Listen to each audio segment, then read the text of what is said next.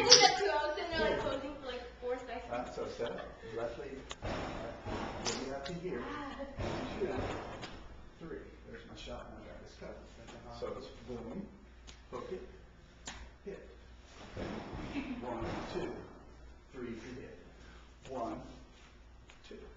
This is like, choo-choo. Hola. Not bad. Oh yeah. You letting go? I was like, pose for a picture.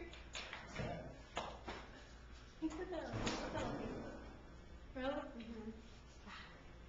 And you want to be feeling his energy the whole time. You're coming around, if you're pulling him around and he's resisting you, you're Huh? gonna feel that. Because Yeah. you might have to change and just go ahead and hit.